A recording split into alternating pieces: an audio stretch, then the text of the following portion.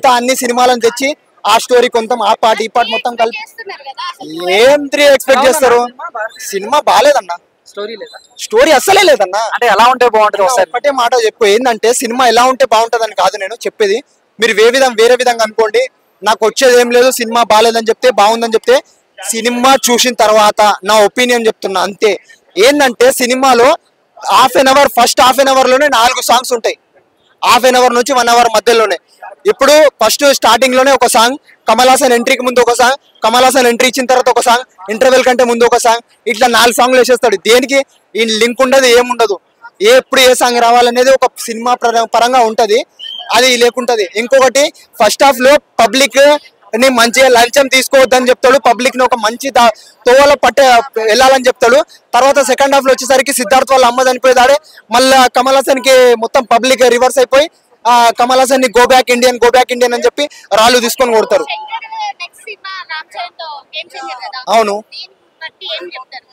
ఏమో అది ఆ సినిమా హిట్ అవుతుందా ఫ్లాప్ అవుతుందా సినిమా చూసి చెప్పొచ్చు.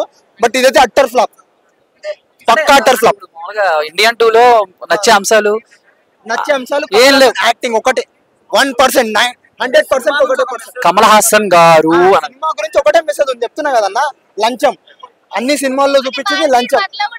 అదే కొత్తగా మెసేజ్ ఏమి ఇచ్చిండు? మీ ఇంట్లో కూడా లంచం ఎవరన్నా తీసుకునే వాళ్ళు ఉంటే వాళ్ళని పోలీసులకు పట్టించేసండి తర్వాత వాళ్ళు వాళ్ళ ఫ్యామిలీ ఉరేసుకొని చచ్చిపోతారు.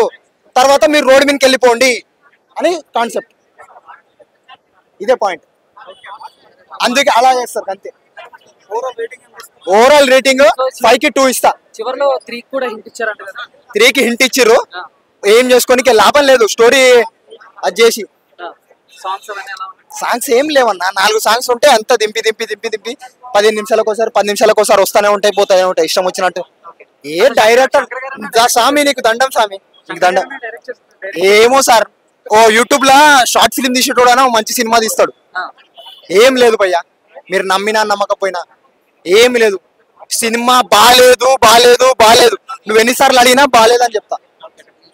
మన భారతదేశం కోసం ఐ లవ్ యూ ఇండియా అని చెప్తాను నేను. కాకపోతే సినిమాలో స్టోరీ తమిళ మాత్రం ఏం లేదు నిజంగా చెప్తున్నా సినిమా స్టోరీ ఎలా ఉండాలో అసలు సినిమా స్టోరీ కూడా అసలు అసలు చెప్పుకోవడం ఏమీ లేదు. చెప్పాలంటే ఒక సిద్ధార్థని పెట్టిరల్లా ఒక రకుల్ పిసి పెట్టి అక్కడ వరకు సినిమా ఓకే అనిపించింది. లాస్ట్ ఫైట్ ఒక క్లైమాక్స్ బాగుంది ఫైట్ బాగుంది ఒక సిక్స్ ప్యాక్ చేస్తాడు అదొక్కటి బాగుంది. కాకపోతే సినిమాలో మాత్రం స్టోరీలా ఏం లేదు. మరి ఇంత ఇండియన్ టూ అంటే ఒక మళ్ళా భారతీయుడులా ఎంత బాగుంటావు అంత నువ్వు పెట్టుకున్నాం కానీ మళ్ళా నువ్వు శంకర్ తీయాలంటే ఒక ఏ రేమంతో పెట్టుకుంటే సినిమా బ్లాక్ బాస్టర్ కొడతారు మనిషి పనులు పెట్టుకుంటా. ఏ రేమంతో మీ తో బ్లాక్ బాస్టర్ కొడతారు సార్. సినిమా మాత్రం ఇక్కడ అసలు చెప్పుకోవడం ఏం లేదు. ఇంకా మంచిగా తీయాలి మనిషి పనులు కొనుక్కుంటా సార్. శంకర్ సార్ మీరు ఎందుకు ఇట్లా తీస్తున్నారు? నాకు అర్థమవుతుంది సినిమాలో. మంచి బ్లాక్ బాస్టర్ తీయాలి ఒక టైంలో మీరు శంకర్ అంటే ఎంతో గొప్ప పేరు ఉంటుండే. ఐ సినిమాలో పని వచ్చి మీరు కొద్దిగా తీసారు మంచిగా కాకపోతే స్టోరీలో తప్పు ఉండలేదు. ఆ స్టోరీ మళ్ళీ తీయాలి మీరు? మళ్ళీ ఒక అపరిచితులు లేక ఒక ఒకే గోల్ లేక? అలా చెప్తున్నానా? సినిమా అక్కడ ఓకే అనిపించింది కానీ సినిమా లాస్ట్ మూమెంట్లో అసలు అర్థం కాదు సినిమా. జర ఇంకా బాగా తీసుకుని ఇంకా బాగుంటుండే. శంకర్ కెరియర్ ఇది ఒకటి మళ్ళా అయి తర్వాత మళ్ళీ కొద్దిగా ఐ సినిమా కంటే ఓకే అనిపించుకుంటాం అంతకు మించింది ఏం లేదు సినిమా మాత్రం అంత చెప్పుకున్నట్టు ఏం లేదు. సార్ శంకర్ సార్ ఇంకా మంచి సినిమా తీయండి సార్ మీరు ఒక బ్లాక్ బస్టర్ ఒకటే మంచి పడుకుంటా జై భారతదేశం. బెటర్ చూసాను అవన్నీ బాగుంటది ఎటువంటి ఎక్స్పెక్టేషన్స్తో చూసారు సినిమా మీరు? కమల్ హాసన్. ఇంకా బాగా చూపిస్తారు అనుకున్నాము కానీ ఒక్కసారి అయితే చూడొచ్చు. ఎక్స్పెక్టేషన్స్ రీచ్ అవ్వాలా? లేదు.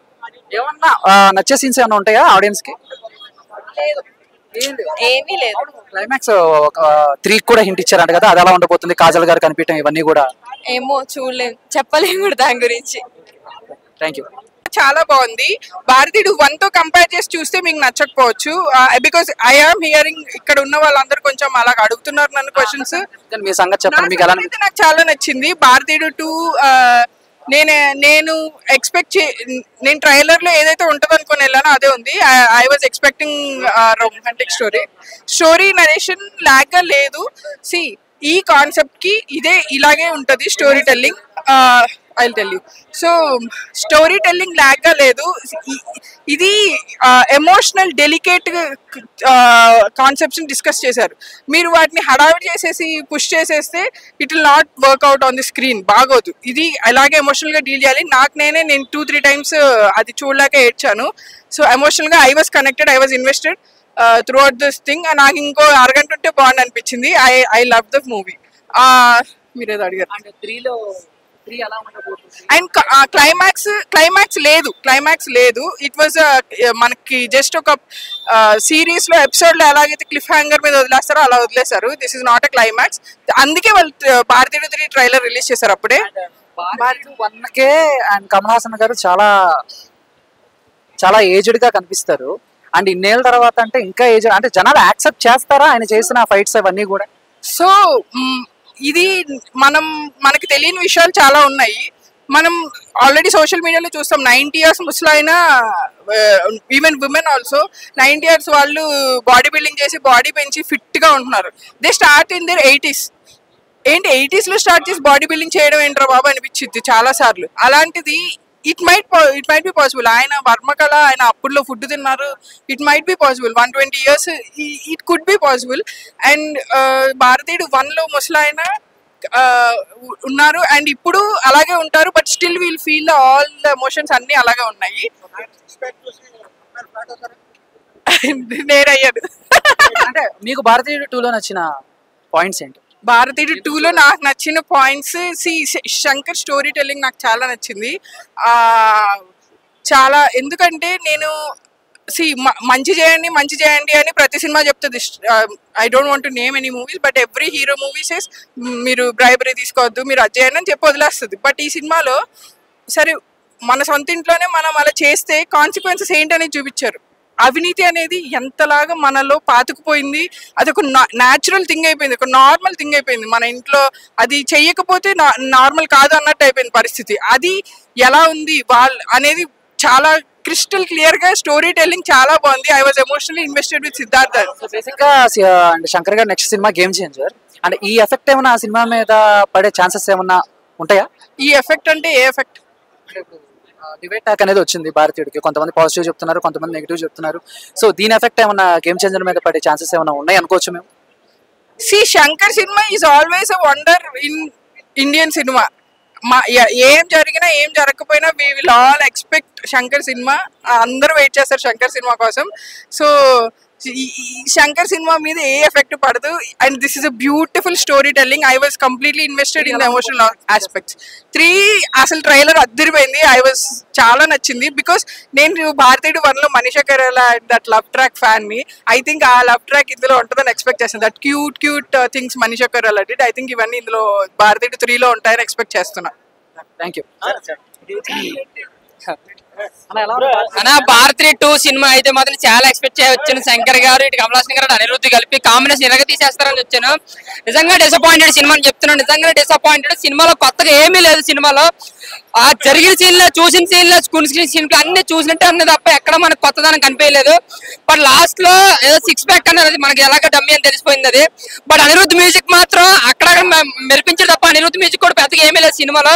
టోటల్గా ఈ ఈ ఎఫెక్ట్ అంతా గేమ్ చేంజ్ పడే అవకాశం ఉందని నిజంగా చెప్తున్నాను. నిజంగా రామ్ చరణ్ సినిమా ఇలాగైతే మాత్రం శంకర్ నిజంగా ఇక్కడ హైదరాబాద్లో మాత్రం గట్టిగా నిలదీస్తారనమాట మరి సినిమా ఇండియన్ టూ ఎందుకు తీసారో ఆయనకే తెలియాలి. సినిమా అంతా కూడా అదో పై పైకి వెళ్ళిపోయింది అంతే ఎక్కడ కూడా ఒక సీన్ ఇంట్రెస్ట్గా చూద్దామన్న ఒక ఎమోషన్ ఫీల్ అవుతామన్నా సరే ఏమీ లేదు సినిమాలో. ఫస్ట్ హాఫ్ లాగే సెకండ్ హాఫ్ లాగే. సో బ్యాక్గ్రౌండ్ త్వరగా కూడా ఏమన్నా విక్రమ్ లాగా నడిపించుకొస్తాడా అంటే అనిరుద్ధ్ అక్కడ నడిపించాడు తప్ప సినిమాలు పెద్దగా ఆయన ప్రాధాన్యత ఏమీ లేదు. త్రీ కూడా ట్రైలర్ చూపించారు. ఏదో టీజర్ లాగా కుదిలేదు అది ఏమన్నా బాగుంటుందా అంటే మాకు మాకు పెద్దగా ఏం అనిపించలేదు వచ్చిన తర్వాత చూడలేదు బట్ ఇండియన్ టూ అయితే మాత్రం ఇండియన్ వన్కి అస్సలు సంబంధం లేదు. ఇలా ఈ సినిమా కాకుండా ఏదో టైటిల్ పెట్టుకుని మామూలుగా యాక్షన్ పార్ట్ కూడా ఏం లేదు సినిమాలో యాక్షన్ పార్ట్ మొత్తం అంతా కూడా జనంతో వెళ్ళి సిద్ధార్థ గారి ఎమోషన్స్ అక్కడ పడినాయి. సిద్ధార్థ గారి హీరో అనుకోవచ్చు అనమాట కమలాసన్ గారు సమానంగా ఆయన క్యారెక్టర్ ఉంది. చూసిన తర్వాత ఏం నచ్చలేదు ఏం అర్థం లేదా ఏం అర్థం కాలేదు. అంతా routine story routine screenplay అంతా ఈ మధ్యకాలంలో ఒక అక్కడక్కడ వచ్చిన సినిమాల్లో రెగ్యులర్గా చూపించారు. ఒక ఆత్మహత్య చేసుకోవడం కానీ ఉద్యోగం కోసం. చాలా సీన్లు ఇది ఇంతవరకు వచ్చిన సినిమాలో మనం చాలా చూసామండి.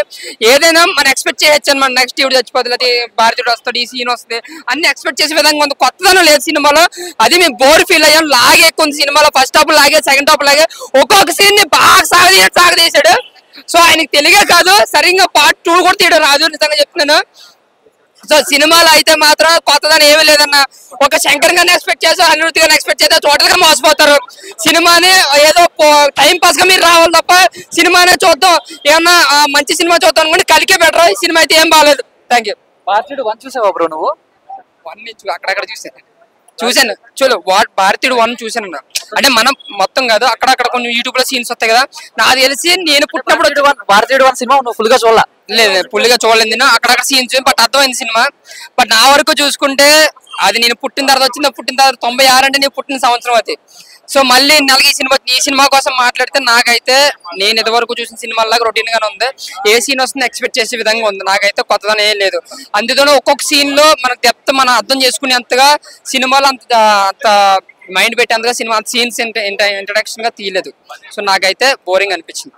థ్యాంక్ యూ రికార్డులు రికార్డులు వెయ్యి సంవత్సరాలు ఉన్నా లక్షల సంవత్సరాలు కోట్ల సంవత్సరాలు ఉన్నా రికార్డు ఉంటాయి ప్రతి ఏరియాలో ఇవి భారతదేశ వ్యాప్తంగా భగత్ సింగ్ గాని శివగి వీర గాని ప్రతి ఒక్కరు ఉంటారు.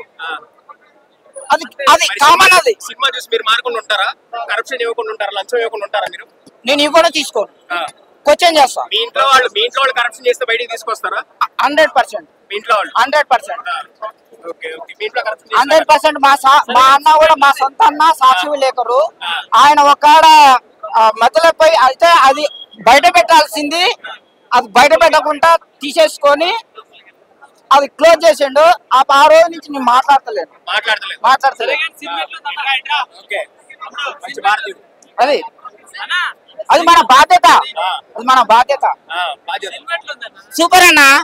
మీడియా సినిమా మిస్ కాకుండా చూడాల్సిన సినిమా మీ సినిమా మా సినిమా మనందరి సినిమా. మీసం మేలేసి చూడబట్టి చెప్తున్నా. ప్రతి ఒక్కరు చూడాల్సిన సినిమా. అందరూ అందరు చూడాలి. ఓటర్ అంటే చీటర్ కాదు. చీప్ లీడర్ కమ్ముడు పోవద్దు. ఓటర్ అంటే చీటర్ కాదు షూటర్. నేను చెప్తున్నా కదా మీడియా సినిమా మిస్ కాకుండా చూడాల్సిన సినిమా. అదే అదే డైలాగ్ అదే డైలాగ్ మీరు మారితే ఈ రాష్ట్రం బాగుపడుతుంది ఈ దేశం బాగుపడుతుంది ఈ ప్రపంచం బాగుపడుతుంది. మన మీడియా వాళ్ళు పోలీసు వాళ్ళ కాడ గన్నులు ఉంటారని కాల్చారన్నా అసలైన గనులు మీ కాడ ఉన్నాయి. మీ దండం పెడితే మీరు మారి. అసలైన గనులు మీ కాడ ఉన్నాయి. విద్య గాని వైద్య గాని ఫుడ్ గాని ప్రతి ఒక్కటి అవినీతి జరుగుతున్నది. మన మన మీడియా మిత్రులు ఏం చేస్తున్నారో తెలుసా? నేను ఈ రోజు ఒక ఆయన ఒక సెల్ఫీ ఇస్తున్నారంటే మీడియా పుణ్యం. మీ కాళ్ళకు దండం పెట్టాలి. ఈ దీంట్లో నేను ఒప్పుకుంటా. కానీ మీరు బాలకృష్ణ బాటిలమ్మటి ఒక పెగ్గు ఉన్నది. లేకపోతే శ్రీకాంత్ రేపాటిలో దొరికిండు అని చెప్పేసి ప్రచారం చేయడం కాదు. మన మన రాష్ట్రం గాని మన దేశం గాని ఎమ్మెల్యేల ఎమ్మెల్యేల చేతుల మంత్రుల చేతుల చేతుల మినిస్టర్ల చేతుల సీఎం చేతుల పిఎం చేతిలో ఉన్నది. వాళ్ళని వాళ్ళ కుంభకోణాలు బయట పెట్టాల? బాలకృష్ణ గారి పక్కన పెక్కున్నది అంటే అది ఆయన వ్యక్తిగత విషయం. మన మనకు మన రాష్ట్రానికి మన దేశానికి ఏమి ఉపయోగం లేదు. అది ఆయన సొంత విషయం. ఆయన ఆయన లివర్లు చెడిపోతాయి భయ్యా. ఆయన లివర్లు చెడిపోతాయి పెగ్గు రేవు రేవు- పాటలో దొరికితే ఆయన ఫ్యామిలీ ఖరాబ్ అవుతుంది. మనకే కదా అందు గురించి అది కాదు మనం ప్రచారం చేయాల్సింది. ఎమ్మెల్యేలు ఏం చేస్తారు ఎంపీలు ఏం చేస్తారు సీఎం ఏం చేస్తున్నారు పిఎం ఏం చేస్తున్నారు అది. రేవంత్ రెడ్డి ఏం చేస్తారు చెప్పు? మీ చేతిలో ఉంది భయ్యా. మీరు మార్పు తీసుకురావాలి. మీరు చూడాలి. అవన్నీ బయట పెట్టాలి? సూపర్ అన్న. ఇది మీడియా సినిమా అన్న.